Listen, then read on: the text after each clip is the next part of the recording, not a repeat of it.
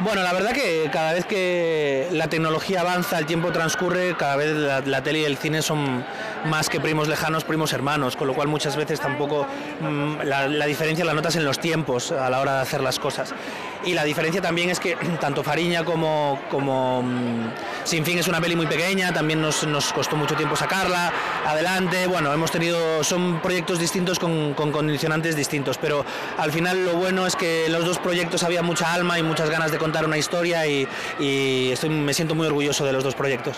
Pues es un cúmulo de suerte por, porque me ofrezcan proyectos que son muy chulos a priori y, y bueno, la, parte que me corresponde de, hacerlo lo mejor, pero bueno, como, como muchos compañeros que han hecho cosas muy chulas y no, no hay cabida para todos porque estamos pocos nominados, entonces bueno, es un cúmulo de cosas y eh, uno o todos los que nos dedicamos a esto siempre intentamos hacerlo lo mejor posible. Luego ya premios ya es otra, es otra cosa. Me parece una gran idea porque todo lo que sea acercar, todo lo que hacemos, la industria, cine, tele, eh, al público, me parece una gran idea y creo que es un marco impresionante.